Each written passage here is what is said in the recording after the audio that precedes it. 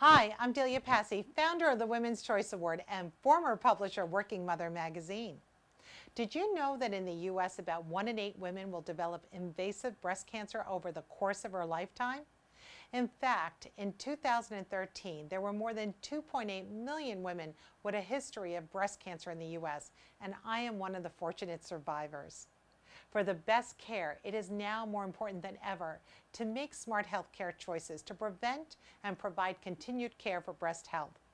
I am pleased to honor the outstanding hospitals that have earned the 2014 Women's Choice Award for America's Best Breast Centers.